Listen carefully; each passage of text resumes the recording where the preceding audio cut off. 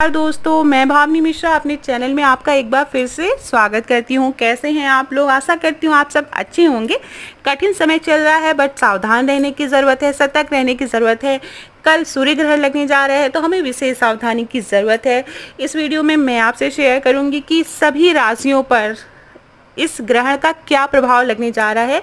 तो चलिए video start करते हैं। 21 जून दिन रविवार को साल का पहला सूर्य ग्रहण लगने जा रहा है, जो कि मिथुन राशि पर लगेगा। यह कंकर सूर्य ग्रहण या वलयाकार सूर्य ग्रहण है, जो कि सुबह नौ बजकर छप्पन मिनट पर भारत में शुरू होगा और दो बजकर अट्ठाईस मिनट पर खत्म होगा। इस ग्रहण का असर सभी राशियों पर पड़ेगा। कुछ राशियों के जीवन में आर्थिक स्थिति बेहतर होगी।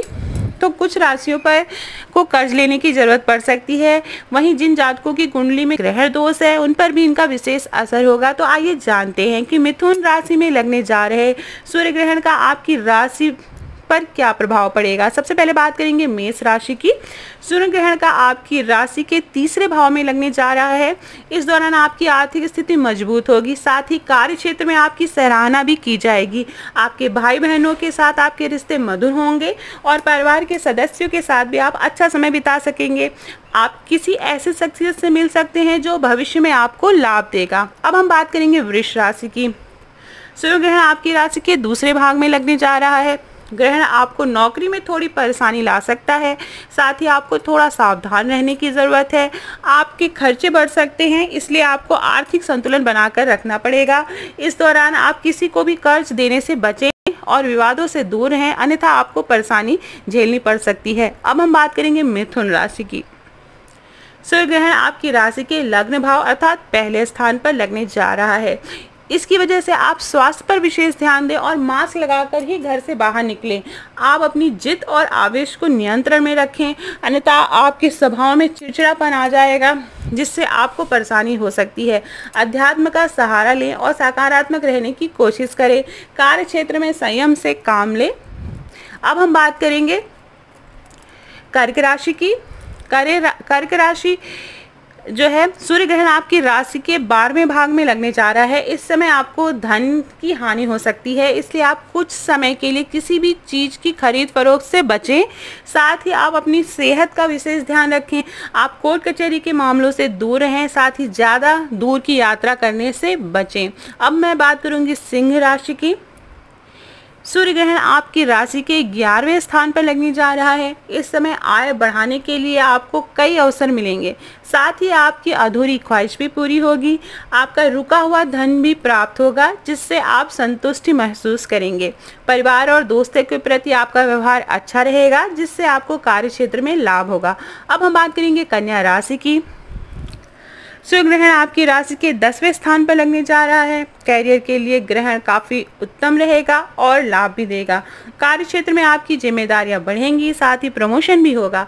परिवार के साथ आपका समय अच्छा गुजरेगा और किसी मांगलिक कार्यक्रम में भी जा सकते हैं। आपको सरकार की तरफ़ से उन्हीं उनकी योजनाओं का फ़ायदा मिलेगा। अब हम बात करेंगे तुला राशि की।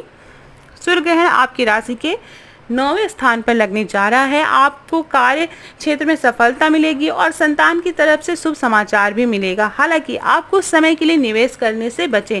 साथ ही स्वास्थ्य का विशेष ध्यान रखें। घर में हमेशा मास्क लगाकर ही बाहर जाएँ। छात्रों का पढ़ाई में मन लगेगा, जिससे परीक्षा में अच्छे अंक की प्राप्ति हो सकती है। वृश्चिक राशि सूर्य ग्रहण आपकी राशि के आठवें स्थान पर लगने जा रहा है। आपको किसी भी प्रकार के संक्रमण से बचना चाहिए और हमेशा सोशल डिस्टेंसिंग का पालन करें। हालाँकि आपको अटका हुआ धन ज़रूर प्राप्त होगा। आपको परिवार के सदस्यों की चिंता परेशान कर सकती है। साथ ही कार्य क्षेत्र में विरोधी भी पूरी तरह से सक्रिय रहेंगे। आपको नीचा दिखाने की कोशिश में लगे रहेंगे। अब हम बात करेंगे धनु राशि की। सूर्य ग्रहण आपकी राशि के सातवें स्थान पर लगने जा रहा है। आप जो बहुत ज़रूरी कार्य अटका हुआ था, वह पूरा हो जाएगा। साथ ही विदेश से आपको लाभ मिलेगा। आपकी जीवन साथी की सेहत का विशेष ध्यान रखें और डॉक्टरों से हमेशा संपर्क में रहें। आप सकारात्मक सोच रखें और आध्यात्मिकता का सहारा लें। इससे आपको सकारात्मक सोचने में मदद मिलेगी। योग करना आपके लिए उत्तम होगा। अब हम बात करेंगे मकर राशि की। सूर्य ग्रहण आपकी राशि के छठवें स्थान पर लगने जा रहा है। आप जितने भी पुराने कर्ज हैं, उनको धीरे धीरे खत्म करते रहें, अन्यथा आपको परेशानी हो सकती है।